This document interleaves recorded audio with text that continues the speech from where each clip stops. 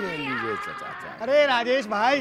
दीपक बहुत दिनों बाद दिख रहे हो तुम हाँ? और बताओ। बस मेरी बेटी का कल जन्मदिन है और आपको आना होगा। हाँ हाँ क्यों नहीं भाई नेकी और पूछ पूछ हाँ। और सूरज भाई आपको तो निमंत्रण मिल ही चुका है।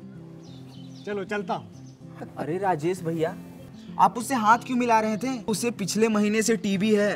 दो हफ़्ते तक लगातार दवा खाओ ना तो टीबी फैलने का खतरा तो बिल्कुल ही खत्म हो जाता है। और रही बात हाथ मिलाने की, गले मिलने की, शौचालय इस्तेमाल करने की, बर्तन खाना बांटने की, उससे टीबी नहीं फैलता।